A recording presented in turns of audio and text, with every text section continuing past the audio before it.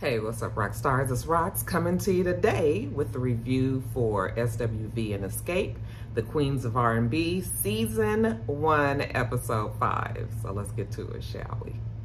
All right, you guys, I'm about to leave this hotel, but I was like, let me do this video before, uh, before I get out of here so I can edit it, get it up to you guys as soon as I can. How y'all living? How y'all living? I'm living pretty good. I'm feeling pretty good, real west, well rested ready for the week, you guys. All right, so the show starts with Tamika and Tasha actually talking on the phone. You know, hey girl, hey, um, you know, it's time for us to talk. Uh, they both both agree on that, that they need to get together. It's been long enough. Um, apparently, Tasha did show up to that. Remember, they had a date that they were going to be performing at. Um, they weren't sure if Tasha was going to come. Well, Tasha did come, and she actually had some good energy. And uh, so, yeah, you know, the group was happy about that. Maybe we can keep up, you know, with this new energy that she has. You know, maybe we can finally, you know, come to an agreement on some things. So they agree when they speak on the phone that they're going to talk. Now we see Tasha. Tasha's at home. Um, or I don't know if she's at home. She, I think she's at the studio actually. And um, she's working on her album. She says she's happy. Deal is signed. She just ready to sing her gospel for the Lord, y'all. And I was like, the Lord is not that pleased, Tasha. not with the shit that happened this week. I was like, I know that girl's nerves got to be shot. They have to be shot with as much as they have been in social media. None of it positive. Most of it bad about Rocky. Tasha kind of looking like she one of the ones that's either the didn't know or didn't care uh, type of person. And yeah, it's been a mess. You know, her latest is now they're in an open relationship. I was just like, like Ashley said, you can you can be in an open relationship singing gospel music. I mean, I guess you can, but it's just sort of like, how's this work? Like all of this bad publicity that she's had this week I know Motown Gospel has to be, you know, rethinking this whole thing. They had absolutely no idea. But when she fixed her mouth to say open relationship, even if that is the case, which I don't believe, I think now we're at the point where we're trying to save face because of the mistresses, plural, because another one didn't surface. But, um, um, yeah, she, she should have they should have came up with something else. Didn't I tell you that they just needed to come clean? Rocky had cheated. But instead now it's open relationship. Like, girl, this doesn't help you. And what you trying to do. The image that you're trying to put forth. Okay? How does that help? So, yeah, she has had a very bad week. Okay? And um, I, I do feel, I feel, I feel bad for her. But I also feel like she and Rocky have put themselves in this spot it didn't even have to be this. It didn't have to be this, you know? So anyway, while she's there at the, you know, working on the album, we see Tamika walking. And I was like, oh, we're going to do this talk now. I thought that that was probably going to come on the next episode. But I hear the next episode, Tasha going to show her ass. So um, this episode is the calm before the storm, I suppose. So um, Tamika walks in and it's real awkward. You know, of course, the allegations against Rocky. Rocky is there. Uh, how are we gonna have this conversation with Rocky being there? But then Tasha don't make no moves or decisions without Rocky. So of course he's gonna be there. But then can we even speak freely if Rocky is here? Um, yeah, all these things to try to figure out. Well, Rocky does leave the room, even though I'm sure Rocky is not too far away. And um, so they talk.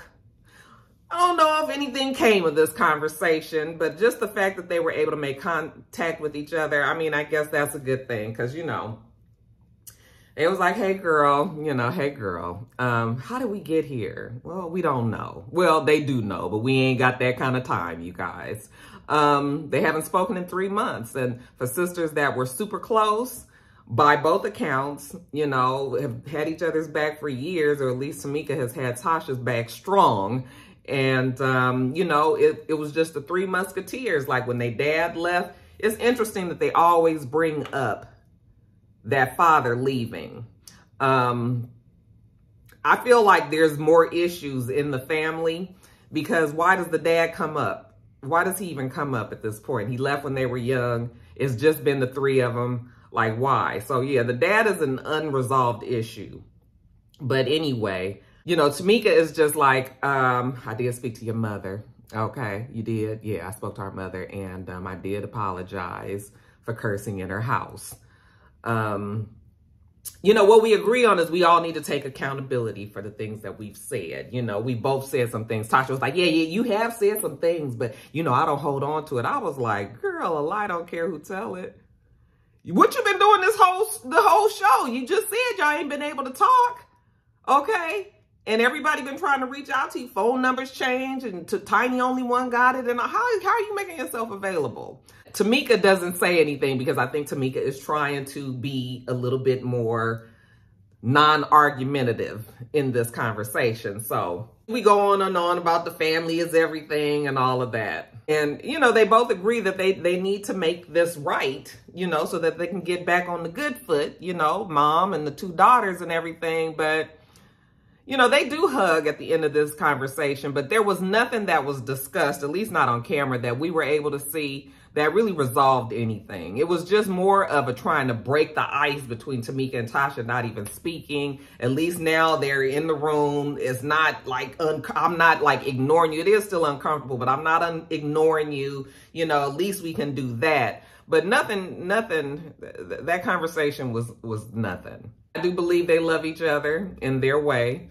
Um, but I also believe that Tasha is ride or die with Rocky, which is fine. That's your husband and everything. But your husband is driving your career into the ground. And he seems like such a narcissist that he doesn't even see it or care to see it. You know, he's right. They're wrong, or Kandi, I should say, is wrong. And, you know, it's just more of that. So, yeah, the conversation was had. Nothing came of it. Now, later on, we see Tamika. She's helping pick the um, uh, dancers for the show. Actually, all of the girls are going to be helping pick dancers for the show. Now, SWV, um, I haven't been to an S, I haven't seen them live in concert, but we've seen enough of their sets to know that they don't have no big production like Xscape does. Xscape really does do a lot, okay? And I think we saw that with the Verzuz battle. Xscape was ready for a fucking concert, okay? SWV was like, oh, I thought we was doing Verzuz. so I'll give that to Xscape. They definitely put on a full stage production SWV doesn't. So SWV is like, well, why are we picking out the dancers? Okay. They might have one or two homeboys back there in the background doing something, but nothing to the extent that Xscape has. But, you know, we, we gonna make this be at least on the Xscape's level. So let's pick the dancers. So they all there with the exception of Kandi. And, uh, you know, we joke around of who's the best dancer in each group. You know, Taj is the best dancer out of SWV, which I would have thought would have been the case. Taj just seems like she's just more still kind of connected, younger acting and all of that than both Lily and Coco, okay? Lily self-proclaimed is the worst dancer in SWV. Um, and then an Xscape's in. Tamika was like, you know, I'm the dancer, baby. I was eight months pregnant one time performing, hitting them dance moves like nothing. Okay. And the worst dancer is not here today. Kandi, because, you know, Kandi had told us plenty of time, you know, I don't really have no rhythm. Kandi got to struggle to get these dance moves, but Kandi be doing it, y'all, but she, it don't come natural to her. so anyway, the dancers, they all do their little audition and everything. They send the dancers out the ladies compare notes, which numbers of the girls, you know, that they liked, and then they bring them back in, and Tamika tells them, you know, so-and-so, so-and-so, so-and-so, so-and-so, you guys stay behind. The rest of you, thank you. This doesn't mean that you're a bad uh, dancer or anything. This just, these are the ones that we wanted to work with. So Thank you, everybody. So now we got the dancers out the way. Taj, you know, everybody's girl, like I said. She gets out there and dances and, you know, we laugh with them. She's vibing with them, you guys. Vibe with Taj and kick worming and everything. now, on to outfits and choreography. Now, later on, we see Taj, Coco, and Lily. They meet out for hookahs and um, just shooting the shits you know, what's up with the book? Oh, Sister Hot Pussy. Oh, she's doing just fine. You know, Lily says that it's hard work, this audiobook thing, you know, trying to be taken seriously as an author. And Coco was like, well, if anybody can do it, Lily can because she nasty. She would like to make everybody think that I am, but she's the nasty one. I said, you could tell Lily nasty just from her voice. that Lily looked like she had been through some things, child. after they finish shooting the shits or whatever, they talk about this set list um, organization that they've been trying to do with that guy, Steve. And of course, they're not agreeing on the order of the songs. Well, they're not agreeing on the ending. SWV, of course, wants to have Weak go last, Xscape wants understanding to go last. Very much like the Verzuz battle. Remember, SWV did weak. It was this big old thing, fireworks and lights and shit. And then they was like, thank you, everybody. And then Xscape was like, excuse us, we still have a song left to do. And they closed it out with understanding. Now, if I was the one that was to choose, definitely weak would come after understanding. I don't even like understanding. I told you guys that's my least favorite Xscape song. It sounds like a, a, a nursery rhyme to me. Okay, so I wouldn't even want to hear understanding after Xscape. I mean, I would because I'm there, I'm watching and everything. But yeah, to me, weak would be it. Xscape doesn't feel that way. Okay. And I mean, they're entitled to feel that they, the way that they want. But now we fighting over this last part. Lily feels like um, it's egos involved and, you know, everybody is trying to put the other one down and um, you know, they had, as SWV, they've had a well-oiled machine before, and it's going to be well-oiled after. And this little hiccup that they having, it ain't even got to be nothing, really. we going to be fighting over it.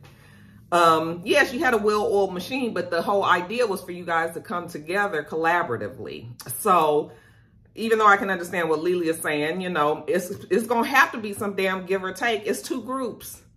So somebody's going to have to compromise. Why don't we let somebody headline and then the other person um, close out the show? That way everybody, but see, I don't know the ins and outs of the music industry. Does that automatically mean the headliner gets paid more than the closer? Like, I don't know. Seems like some of it is politics. Some of it is just popularity. People's egos, like I said, involved. I'm really tired of seeing it. Like I've had enough of the background, you know, the behind the scenes shit. Just give me the show. I don't give a fuck about all this because it makes you not like people that you thought that you've liked all these years. That's the one thing about reality shows if they are done truthfully. Um, and, and R&B Divas is a perfect example because when we saw R&B Divas, we didn't like Tasha too much anymore. We definitely ain't felt Nicci Gilbert. We, you know, Chanté Moore gave us some runaround. You know, we was even not really sure about uh, Monifah sometimes. It was a lot, you know, uh, Chrisette Michele, like, you get to see the backgrounds and the behind the scenes, and then you just sort of be like, hmm too much information, you know?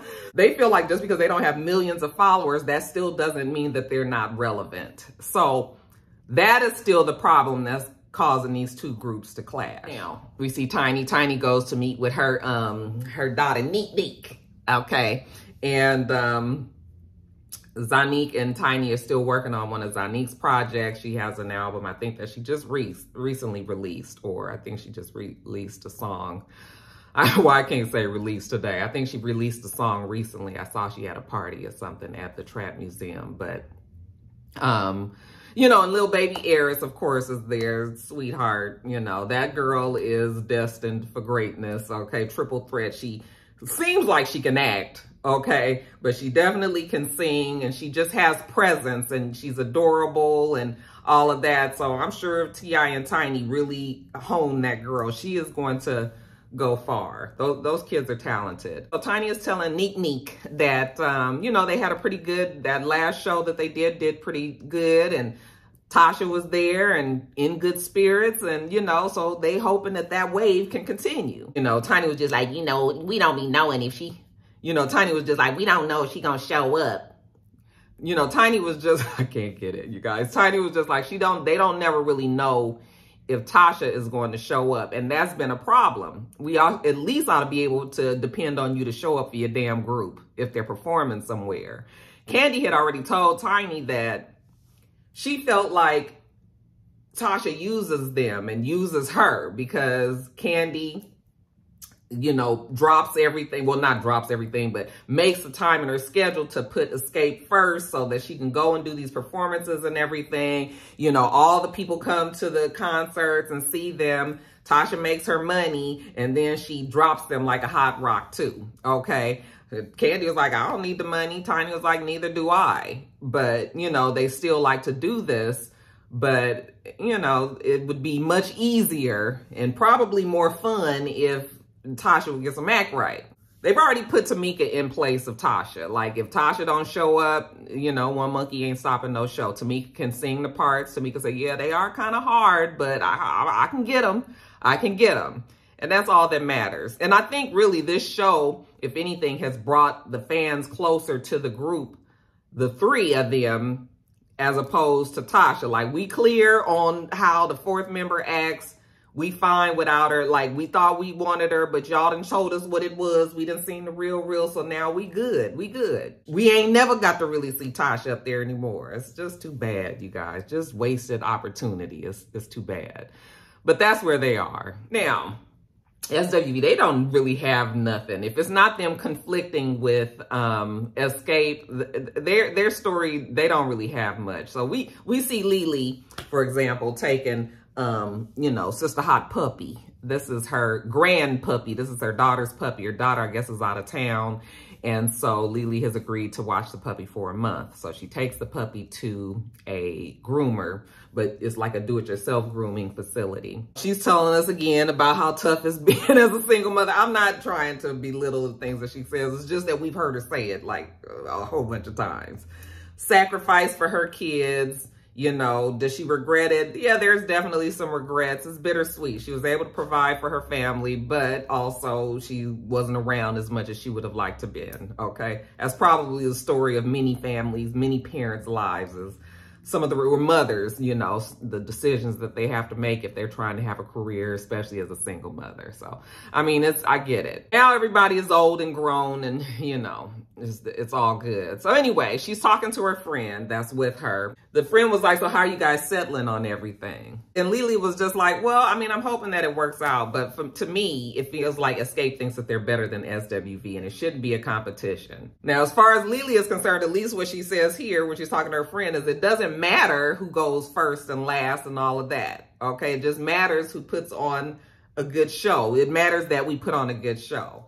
But if it didn't matter, then you guys wouldn't be putting your foot down. See, and you can't let that foot go because you don't just want to concede to everything to Xscape. And really, I mean, I guess if you guys feel like you shouldn't, then yeah, still discussions to be had.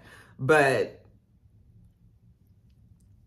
yeah, they, they had a standstill. I mean, the show gonna go on, but it's gonna be a lot before it does. Yeah, we've heard a lot about Coco. Coco has admitted that she can be a bitch at times. Um, we've seen them on different reality shows. So we know that Coco, if anybody is gonna be the live wire, um, is going to be Coco. So it's interesting that they have Coco going to do the finalize the set list with Kandi and the guy Steve.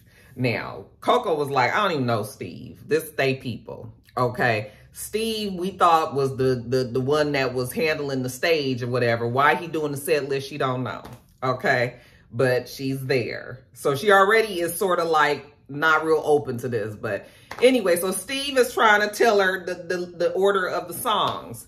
And Coco like, mm, -mm no, don't like that. Oh, why is it, this is sleepy. The whole thing is slow. Well, I mean, the most of you guys, I mean, not most of you guys, but a lot of the hits, especially for Xscape, are slow. They have some fast songs, but you know, and then SWV has some fast songs and some slow songs, but you know, so anyway, to me, I don't know why this has to be an argument. Really, the bottom line is who gonna close out the damn show, okay? The rest of all of that is just gravy. We just put it in order however we feel and um, all that. But yeah, Coco is like, and you know, Kandi just like, this is the real you. You know, all that stuff she's talking about, you know, that I'm not drama, we don't fight. Mm -mm, this is really her.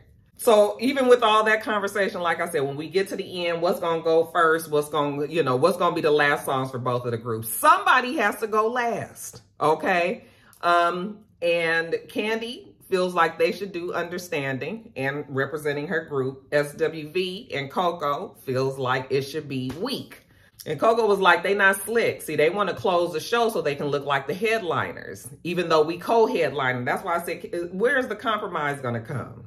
Okay, damn. Now, we see Kandi and Tiny. They're in a truck um, and they are riding somewhere. We don't know at the time, but you know, they're just talking about the outfits. Um, And you guys, we've seen Xscape's outfits, and yes, they are quite uh, stripperish. You know, that's just their aesthetic. You know, they've had a lot of work done to their bodies and they like to show it off and all of that. SWV ain't did all that, okay? They may have had a tummy tuck here or there, but them still some full-grown, full-size, you know, women.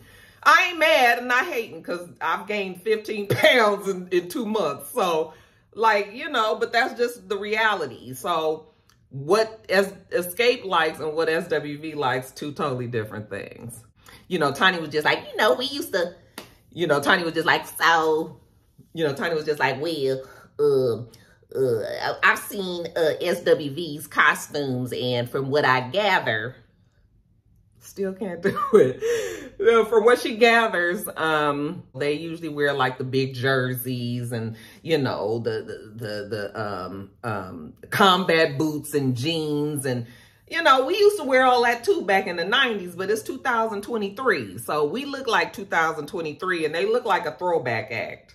okay? Yes, SWV could stand to change their look. You know, because I was just like, we ain't still wearing like spray painted jackets and, you know, the shit, the, the capri pants and all of that biker shorts and stuff that y'all be wearing. Like, you could afford to step it up. When we see Taj and um, Coco in the other car and they got um, Jay with him, you know, oh, Jay has decided to stay in dental school because he was worried that he would regret it, you know, and I'm sure a lot of people also told him that he should stay. So, you know, like we said, you can be a singing dentist. And Coco's happy. Taj was like, yes, because I want you to do my veneers when you get finished. Coco tells them how the set list going over was just a mess Coco was just like, I, I, quite frankly, Coco ain't even sure she really liked them like that, like that. You know, Taj was like, we love you, but she was like, I don't even know about that. Okay. Like I signed on for this, but really she could take it or leave it. And I guess Kandi and Tiny feel the same way. Like, I mean, if we can't agree on this closing out the show thing, then um, uh, we ain't got to do it. So I guess everybody agrees in that sense. No, we didn't have six uh, episodes or we gonna have six episodes and y'all decide not to do the tour. I don't think so. Mona gonna be like, nah, nah, nah, nigga. Somebody gonna get on somebody's stage and sing something. Where they all actually are going is to meet with their designer, their costume designer. I forgot the guy's name, but it's him and his boyfriend who also assist him. And um, he actually is a stripper costume designer. He works well with Xscape, you know, because they have stripper bodies. And so, you know, he get the shit, they, they figure out the colors and the shit that they want, and then he bring it to life. Um, and you know, SWV had already said, Lily had already said, we not doing the Apollonia 6 look, you know, the lingerie and all of that. No, that's definitely not what SWV do. I don't even know if we could fit in them costumes, okay? So the designer has his job set out for him, cut out for him because he's got to do something that both groups like they're going to be sharing the stage. Like all of that has to mesh. All of that has to come together. And of course, all around the room is all stripper outfits, feathers, boa feathers and rhinestones and lime green, hot pink and, you know, all the stripper fair. So Xscape was like, ooh, kids in the candy store. And SWV was like, where the fuck is we going in this? So they're joking around, you know, Diana Ross, Tamika says, Diana Ross, you know, she has a separate stylist. So, and uh, Tasha was like, yeah, because she got her own stylist a while back. You know, her the stylist that Xscape has just wasn't working for her. So she's much happier with her person. She wants sexy, form-filled fitting, but always classy. I was like, well, I don't know what the designer got in here, but I'm sure, you know, behind them bows, you know, maybe we can come up with something. So what color we gonna wear? You know, oh, the blue is pretty. Oh, look at that. You know, Lily, I want to wear all black. And Kandi was just like, yeah, but we can't really be up on stage in all black. Okay. Well, what about black and rhinestones? Yeah, I was sort of thinking white and rhinestones. Okay. So, Xscape wants white and silver, rhinestones or whatever. SWV wants black and silver, black and rhinestones. Okay, that should be easy enough to do. You know, we, we should be able to get that together. Okay, so we got that, right? They was like, uh, are you going to be able to do this in time? You know, the show was, I guess at this point, just a couple of weeks away. And um, he tells him, yeah, he got it. He got it. Just, you know, he, he takes their measurements and he's going to do his part. So after that, they're talking. And again, the set list conversation comes up. Who is closing the show? What I really wish they would have done is there's a way to quantify followers into dollars or into sales and how many followers, because there are companies that actually send that kind of shit to me. So I know they exist that actually is able to put it into numbers so people can really see what influence somebody has over a group of people you know, and how that relates, correlates with your followers and all of that. You know, they needed a marketing person that could explain that because SWV, I, I will agree, I'm very much old school like SWV. I already know they not as connected on social media, you know, so they don't have as many followers. They don't even have a million followers between the three of them. Kandi and Tiny, millions of followers just between the two of them, you know, and so that is the problem. SWV can't see it because they don't understand that part of social media and the, you know, the, the strength of the influencer. So Kandi's sitting here trying to explain that to them. First of all, we don't have that kind of time. Kandi might not even be the one to put that into words. They need a person that can explain that to them. So SWV feels like that doesn't make a difference. Well, it does make a difference. The question is, how much difference does it make?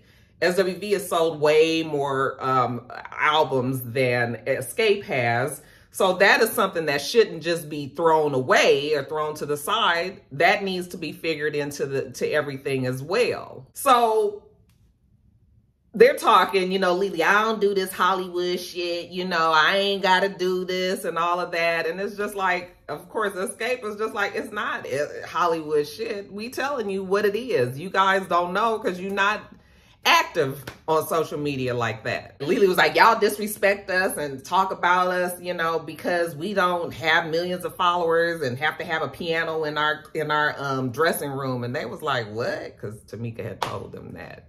It might be one of Tamika's white lies, y'all. But Tiny was like, with all due respect, Xscape has a bigger production than SWV. Like, they don't do the things that we do. You know, we have LED screens all filling our stage. You know, we have props. We have a lot of dancers. We choreography. We up and down on stages and walking the stage and doing all of this. Like they give a full show. SWV just gets up there and sings. And I mean, at the end of the day, that maybe that's what the SWV fans want. Xscape wants to give more of a J Lo-esque type of performance. you know, Lily and Coco are just basically like, fuck this. We, we ain't got to do it. We really ain't got to do this. And so Tamika was just like, oh, so what are you saying? You know, I'm, I'm just saying like, we ain't, forget it. If it's going to be all this, we can't even get past the damn set list. And, you know, so Tamika was like, so you saying that the sisterhood is gone? She was like, honey, the sisterhood been gone. Okay, because we, we can't agree on anything. Tamika tells her that she's being childish because Coco is finally to the point was like, you know what? Why don't y'all do y'all show? We do our show and let that be that. Let's not try to come up there and share the stage and bring the songs back and forth between the two groups and all of that. And Tamika was like, but we were supposed to be doing this collaboratively. And she was just like, I know, but you see what the collaboration is getting us. Coco was like, I don't care. This is stupid. Lily was like, this stupidest shit I'd have never had to do. And Tasha was just like, I, I ain't signed up for this the perfect excuse for Tasha. One more reason where she can just kind of dip out. Like, y'all got too much drama. Girl, you've been in drama for 30 years. You've been in a damn group. This shouldn't just be a walk in the park. when do you guys get along well and agree on everything? So she was just like, can we just get through one night, please? Yeah, let's let's just try to get through one night at this point. So I don't know how that meeting ended because they didn't show us. But what we do see as a closeout on the show is Xscape decides to all get together. Tiny was just like, we got to get to the nitty gritty. They've Xscape has found out some information. One of the promoters dropped a bomb on us, honey, and they came with receipts. And you know I love a receipt. What is happening now? So the four girls get together, pleasant enough. Hey girl, hey girl, how you doing? How you doing? Okay, we sit down and um, they get started. Long story short, they found out that Rocky been getting kickbacks from them performing for a certain promoter. Okay. And she was just like, wait a minute, what? Rocky hasn't been getting no money. And they were like, yes, he has. And she was like, no, he hasn't. I said, girl, maybe you don't know that Rocky been getting kickbacks, but he has. Tamika was like, well, we talked to the promoter for a certain show that we did. And he told us that Rocky told him that as long as we performed, that Rocky was getting money for us to perform. So then, you know, Tasha's denying it. That's not true, you know. And they were like, well, we got the text messages. Oh, you guys gonna believe some text messages? They was like, uh, yeah. Hold on, we gonna have a business meeting right now. Tamika done made copies of everything for everybody to see, so she distributes them. And she was just like, so y'all believe these text messages? And can't, they was like, the man ain't got no reason to lie. It say right there. Rocky got $10,000 already. He already told uh, Tasha that but also could the old boy send him 20,000 more, you know, with the agreement that Latasha is going to get the girls to do whatever she want them to do, which is to perform. Okay. So all this on the hush hush, supposedly Rocky was telling Tasha either, like I said, either Tasha don't know or Tasha is acting like she don't know and she is taking up for Rocky it's hard to tell sometimes with Tasha. I feel like he does things and she don't always know what he's doing. Okay. But forever gonna have his back. So she was just like, so y'all believe these text messages? And Kandi was just like, well, that's Rocky's number. And she was like, but I ain't steal no money. And she said, but you guys are one. Because Kandi was like, we shouldn't have to worry about money. If it's money going out from our group, then we should know about every money that's crossing hands in this group okay?